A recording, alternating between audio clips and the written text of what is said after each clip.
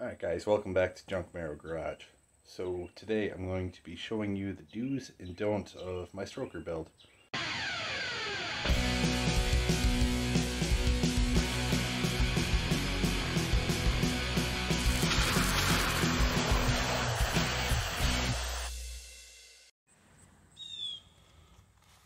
Alright, let's go get the hood open.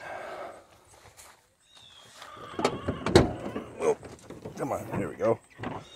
So anyways, since last time I made a video on the Camaro, I've done a couple things.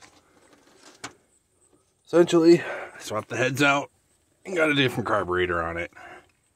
Before it was just making way too much compression with the flat top pistons and the 305 heads. Too much, just kept getting engine knock and, or engine ping I mean, and uh, spark plugs. Pistons would come up and uh, hit a couple of them if they weren't angled in there just right. So, if you're going to be building a 383 on a budget, if you're going to use the 305 heads, either get dome pistons and use the 305 heads, or get the flat tops like I did and just kind of get different set of heads that have a larger CC chamber where you're not making as much compression and you won't be running into as many issues as I did. And I ended up going with a Holley 650 double pumper. One, because the 800 was just a little too big. I mean, if I had a 750, that probably would be okay, but it seemed like the 800 was just a little too much. And plus, two, I got it from for free from a, a buddy. So, you can't really beat free other than that, that's really the two main things that I've changed on this engine. But other than that, I've driven it probably about 1,500 miles right now. I got, I still got some tinkering to do on the carb. I think I got to make the secondary jets a little bit bigger because when I get on it, it seems like fuel starts kind of cutting out in the higher RPMs, like it's just not getting enough. So I might go with some bigger jets, see how that goes, and um,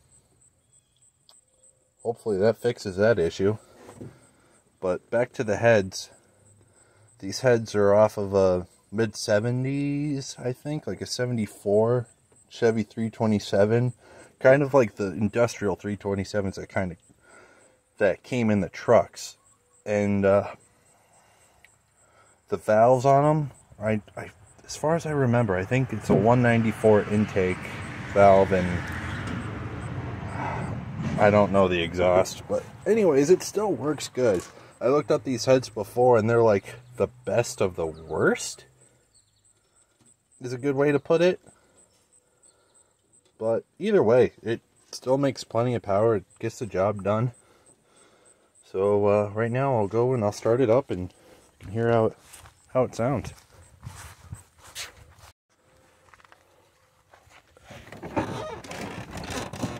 Yep, I also got the interior all put back together for the most part. I still got to throw in a radio and uh, do some other little things, but for the most part, it's good enough to drive. I still got to get it inspected. There's a couple little things I got to do to it still, like e-brake cable, fix this so my headlights actually work right, and all that cool stuff. So yeah, just a couple pumps. Make sure it's neutral. Yep. Massively loud fuel pump. Starts right up.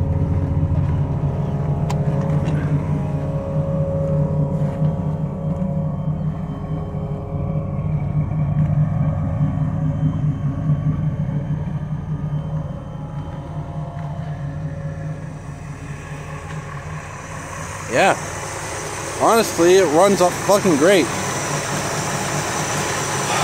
I got a little oil leak there that I got to take care of, but and I got to do something with this because I don't. That just kind of sketches me out a little bit. I really don't like the fuel line that close to the header. But I'll go and set you guys back here so you can get a little exhaust clip.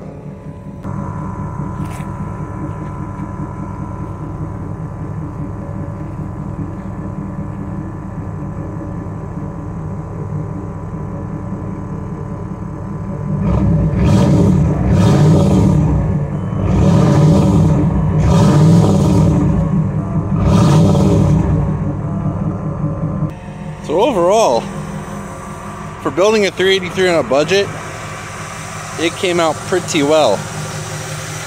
Oh, also, don't get the cheapest seals you can on uh, online. It, they end up leaking.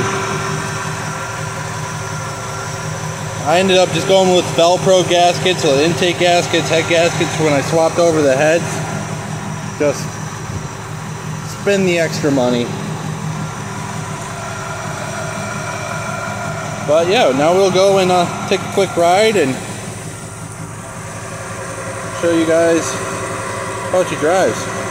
All right, so I got my little clip thing right here so I can go and hook my phone up to the dash and uh, we can go for another ride. There we go, all set.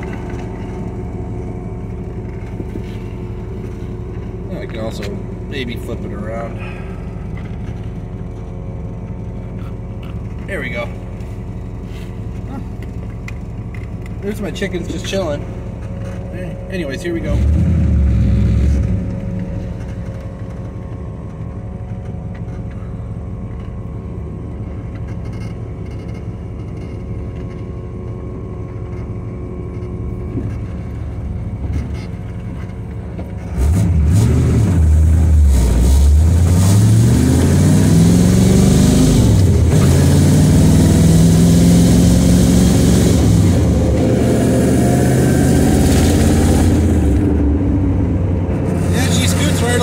even with the lower compression heads.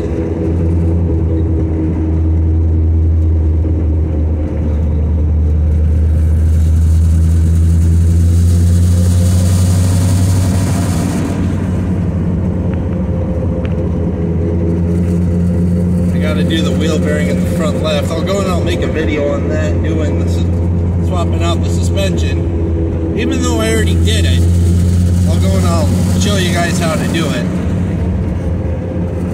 had actually footage of me doing that.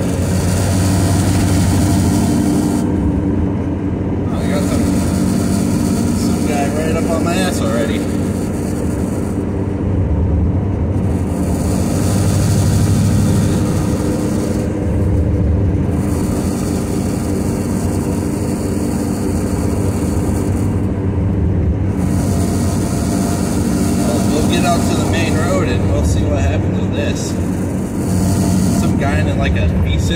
psychologist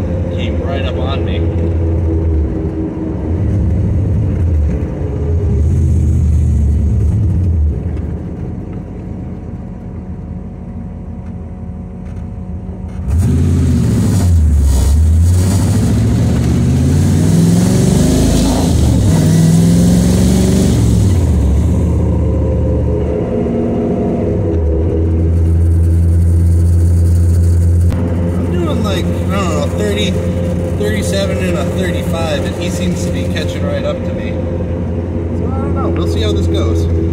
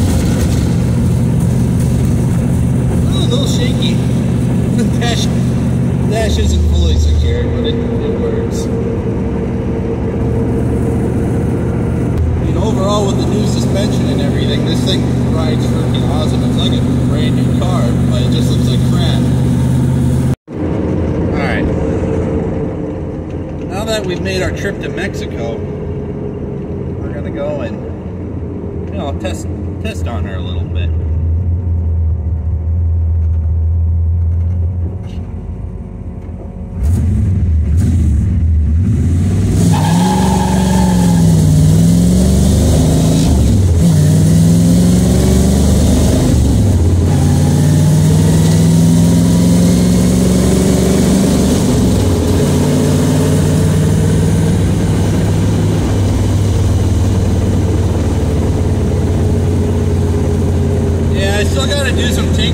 bit. throttle, it just kind of falls on its face. I don't know if I'm getting enough fuel or the carbs clogged or something, but I definitely got to fix that. But, you know, it can still do burnouts and stuff, so that ain't too bad. Speaking of burnouts,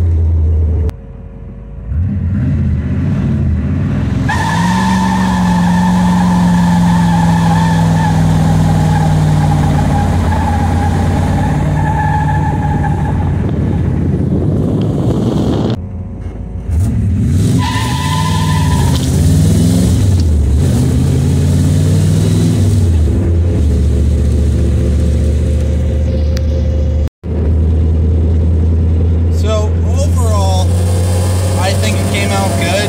I still have some tinkering I need to do, like with the carburetor and everything like that. Uh, but you know, for building an engine literally out of junk in a car that sat for uh, 17 years, I think it's all right. Like I've been driving it back and forth to work every day, haven't had any issues. So overall, and it's got T-tops. My old one didn't have T-tops. I fucking love T-tops. But I guess that's gonna finish this episode. I got some more stuff, like a go-kart and a scooter I'm gonna be screwing with, so you'll see stuff like that on this channel. And this, because, you know, this is like the main thing of this channel surviving this whole punk crap. Either way, thanks for watching. If you haven't, please subscribe because I'm almost at a thousand subscribers. And uh, yeah, it'd be pretty cool to get paid from YouTube. So guys, thanks for watching.